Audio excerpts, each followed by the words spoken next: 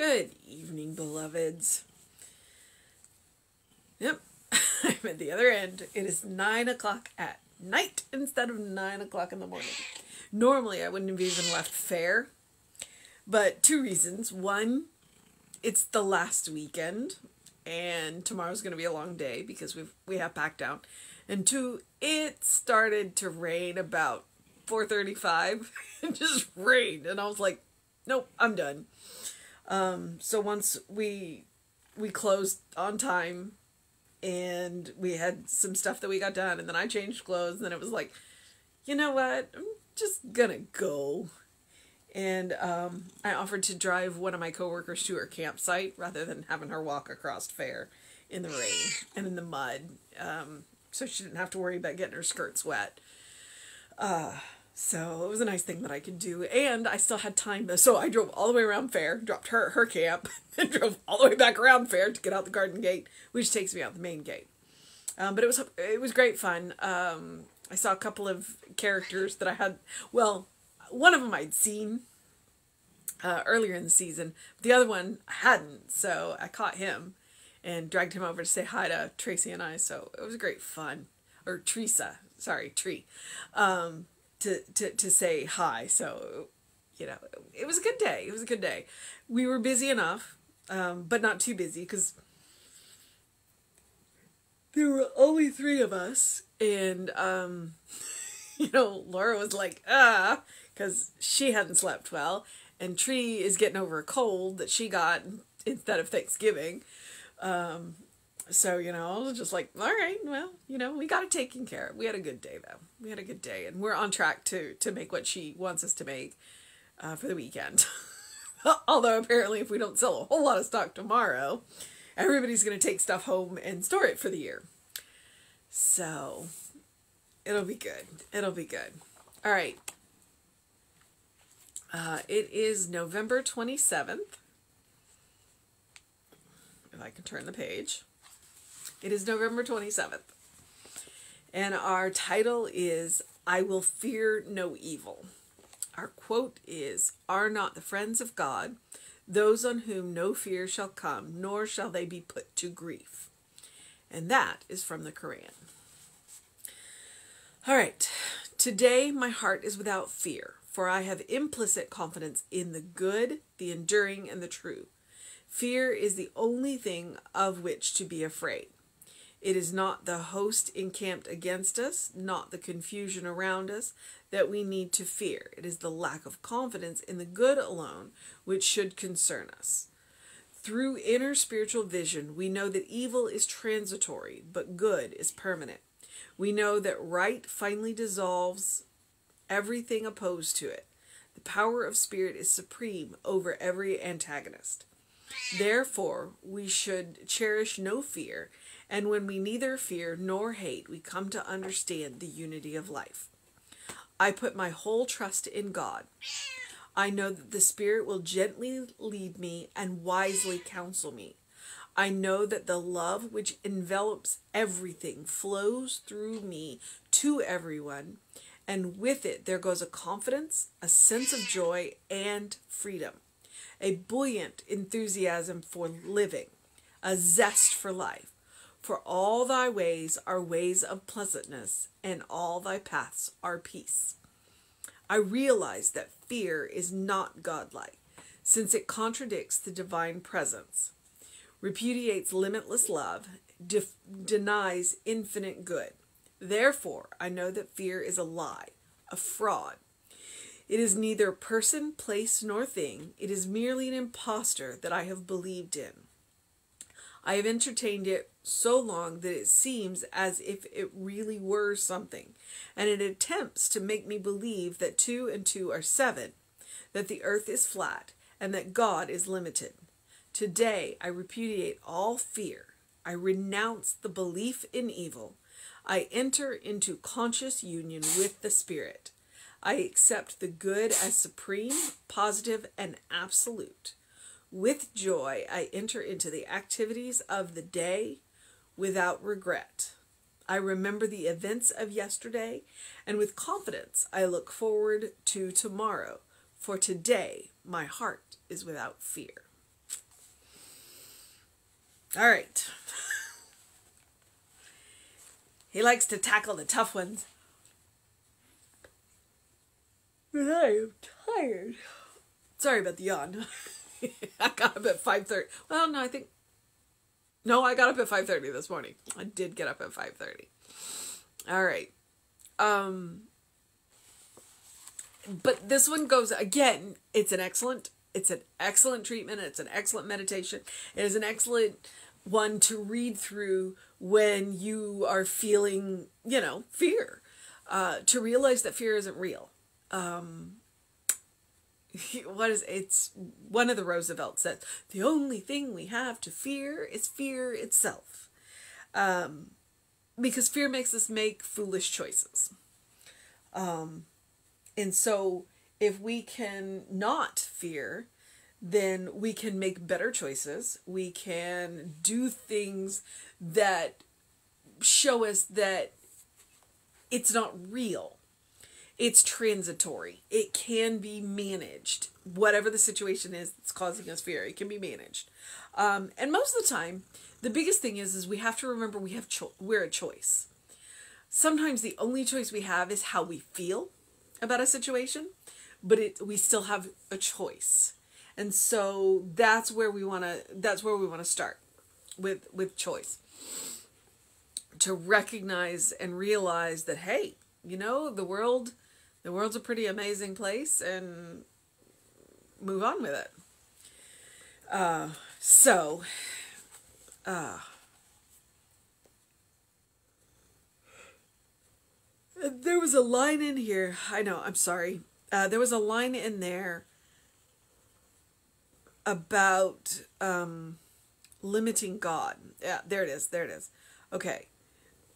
I have entertained it for so long that it seems as if it were really something, and it attempts to make me believe that two and two are seven, that the earth is flat, and that God is limited.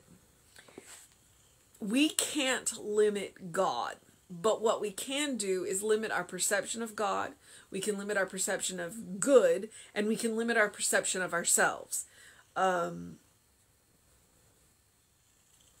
we have no idea how powerful we actually are. And that is actually the most terrifying thing about us is because we are so much more powerful than we think we are. But we're afraid to spread our wings and find out. So, and that's really what fear does. Fear fear attempts to limit God, but nothing can limit God. All we can do is limit our perception. All right. So, I will not fear.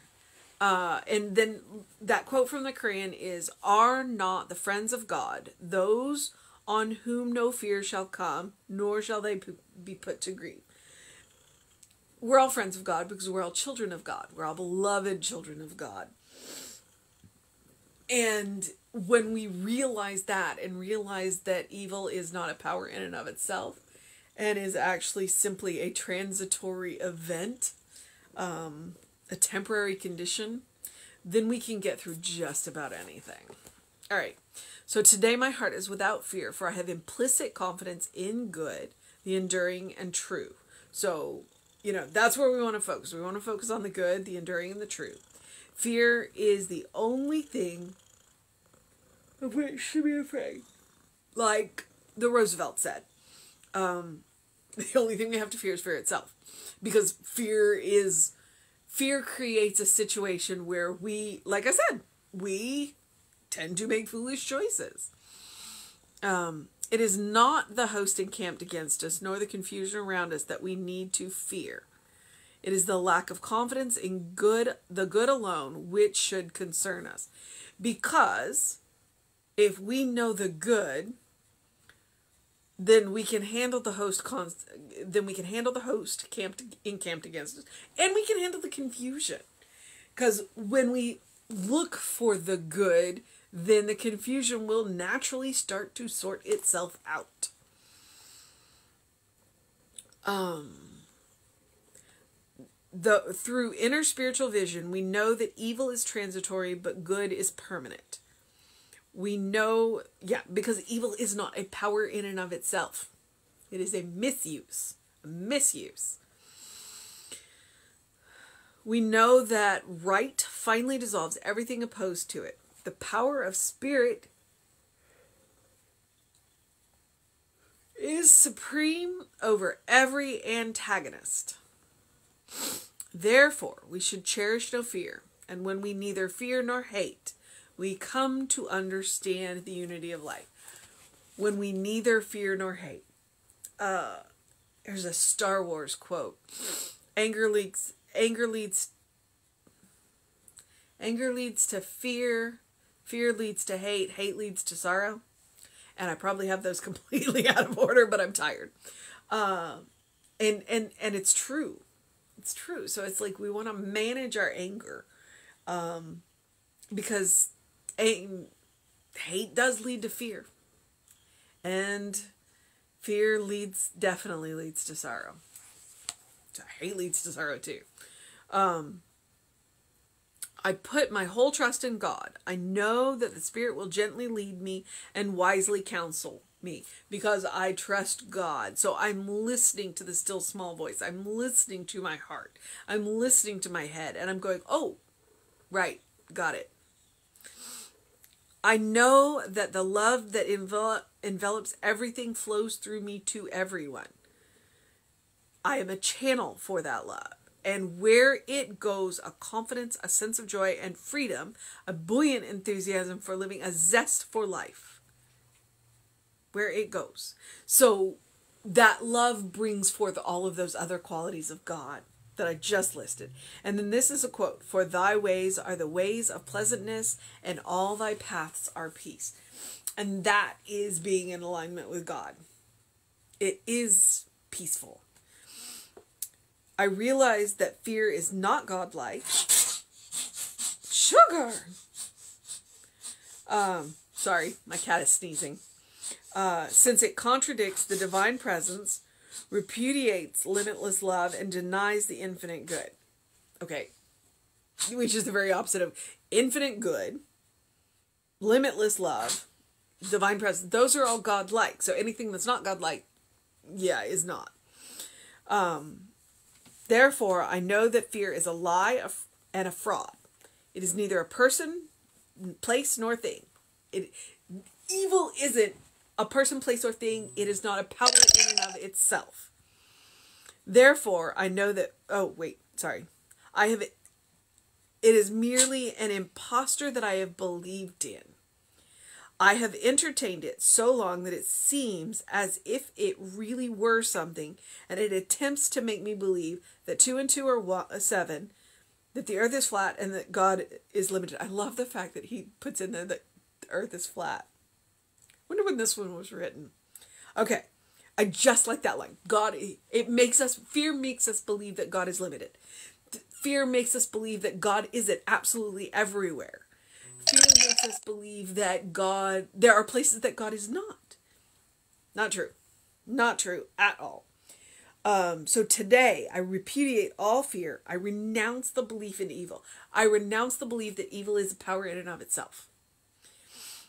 I enter into conscious union with the Spirit, always a good first step, and the point of spiritual practice.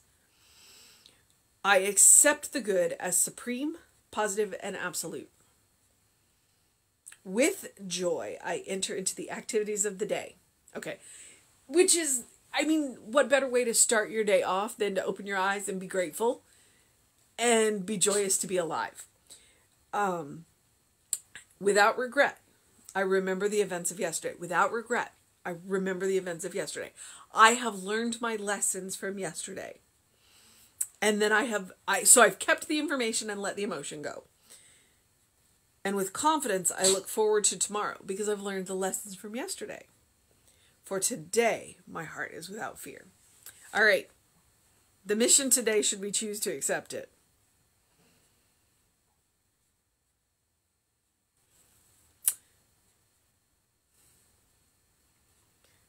The mission today, should we choose to accept it, really honestly, and it's going to, all right. The mission today, that should we choose to accept it, is to neither fear nor hate. Because that is how we un- understand, come to the understanding of the unity of life. And that's kind of a weird mission. It, but if we are channels of divine love, then we can't fear and we can't hate. It's not possible to love and fear. It is not possible to love and hate at the same time. Now, yes, you can be afraid for your loved one, but that's different. And it also denies, it again limits God and it limits your loved one. So don't fear for them. Trust them. Trust them to know and trust God and trust the Spirit. Uh, all right, so that's the mission. That is the mission. And I'm tired. so, as I do always, I encourage you to do something loving for yourself, do something kind for yourself, do something compassionate for yourself, whatever that looks like. Tomorrow is going to be a very long day. Uh, it is the last day of the Texas Renaissance Festival. Uh, so I need to repack my bag because I'm I'm I'm going with a different outfit. I'm going with a lot less complicated outfit tomorrow. Um, and I may not even put it on. I may just get there and help start with the, the pack down. So I'm going to go get a good night's sleep.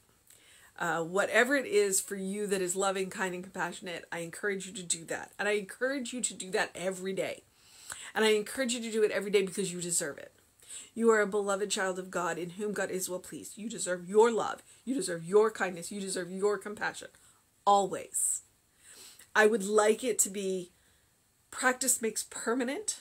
I would like it to become your first response, your default setting. That no matter what happens in your life, the first thing you respond with is love, kindness, and compassion, especially for yourself. Because if you can do it for yourself, you can do it for anybody. And we all meet people who need that. So we create a bank of our own so that we can share. All right? It's why I encourage it every day. It absolutely is a spiritual practice to practice love, to practice kindness, and to practice compassion on yourself. All right. I also encourage you to engage your mind and your body, to drink plenty of water, to get that face full of sun first thing in the morning, to take care of yourself, and to open the windows of your soul. Allow that breath of heaven to remind you you do live in heaven right here, right now. You are surrounded by God, you are surrounded by spirit, you are surrounded by love, and you are surrounded by good, loving people all the time.